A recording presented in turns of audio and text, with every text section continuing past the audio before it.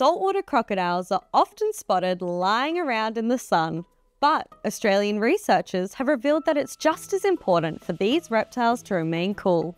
So, what did they discover? And what can the research tell us about Aussie crocs? I study crocodile body temperature, and the reason that this is interesting is because, unlike us, crocs are cold blooded. That means that their internal temperature is just the same as whatever environment they're in. They can't keep it regulated. Crocs are almost the same temperature as the water where they live almost all of the time what we found that was really interesting is that there were periods of time in summer where their body temperature got quite cool, and there were periods of time in winter where their body temperature got quite warm. So we think they must be doing something to warm up and cool down, like basking in the sun, for example, and that's really interesting. My research uses remote technology. So the crocs have sensors attached to them, and I can pick up what their body temperature is when they live in Cape York and I'm down here in Brisbane. But to know what they're doing, we'd have to actually go and watch what happens, what behaviors are taking place when we see changes in their recorded body temperature. I work with a population of crocs that live on the Wenlock River on Cape York, and this study has been happening since 2008. So we've just nearly finished year 16. It's a really incredible study.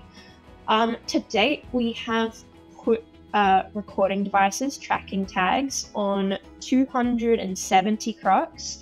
Of those, about 160 had good quality body temperature recordings that I was able to use for this study.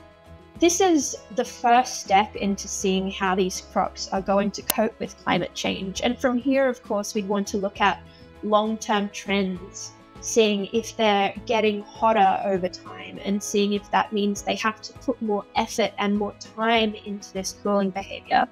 Because it's useful that they can do it, but of course, it takes time and energy away from things like diving, looking for food, looking for mates, traveling for shelter.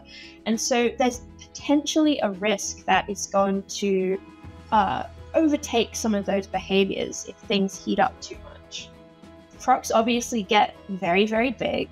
The biggest ones in our population are over four and a half meters in total length. And what we see time and again is they get to do the heating up, they get to do the cooling down.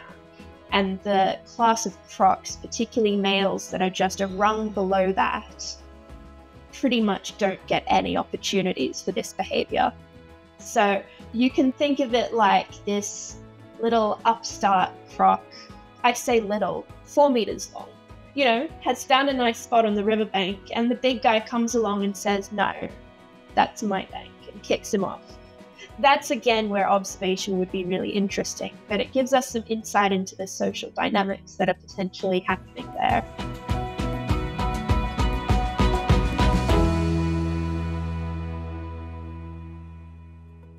Thank you so much for joining us. If you enjoyed this video, be sure to like and subscribe, and head to the comments to let us know what topics you'd like us to cover in the future.